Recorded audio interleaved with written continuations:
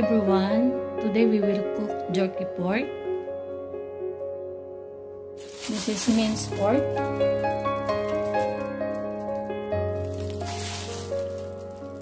One cup of brown sugar. Honey. Light soy sauce.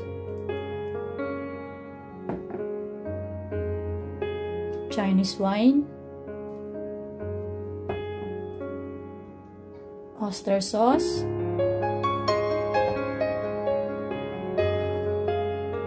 peas sauce, and I need use for the oven for baking, cooking and baking paper.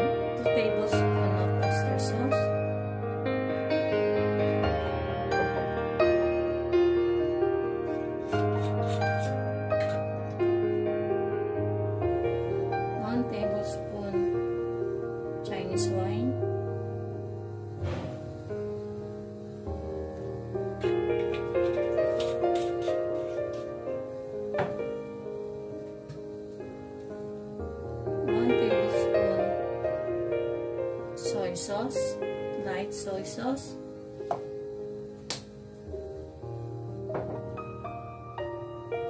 I use the brown sugar.